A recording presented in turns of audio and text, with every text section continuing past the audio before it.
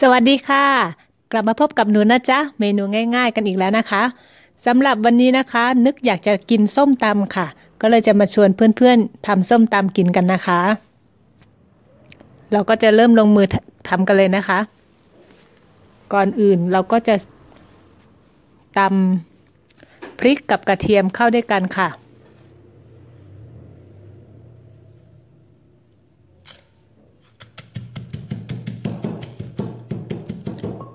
ความเผ็ดนะคะ ก็ตามแต่ละคนชอบเลยนะคะ ชอบเผ็ดมากก็ใส่มาก ชอบเผ็ดน้อยก็ใส่แค่นิดหน่อยก็พอค่ะ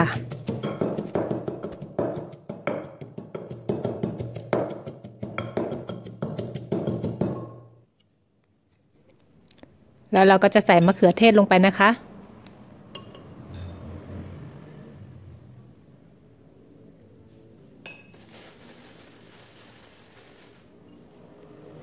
ตามด้วยปูดองค่ะ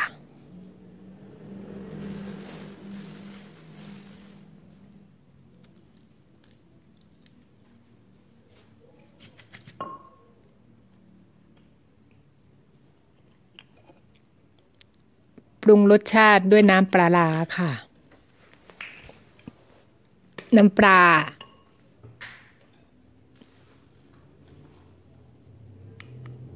แล้วก็น้ำตาลปี๊บค่ะ ผงนัวตามใจชอบนะคะ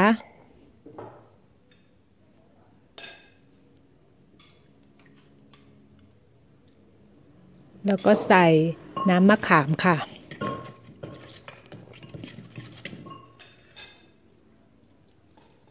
ตามด้วยน้ำมะนาว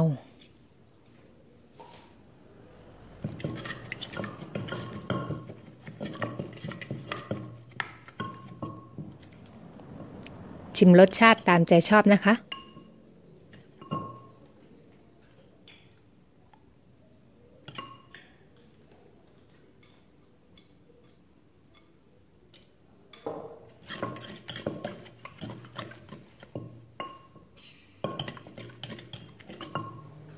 เมื่อได้รสชาติตามที่พอใจแล้วนะคะ เราก็จะใส่เส้นมะละกอลงไปค่ะวันนี้ก็จะมี กุ้งสด แล้วก็ปลาหมึกแล้วก็หมูยอด้วยค่ะ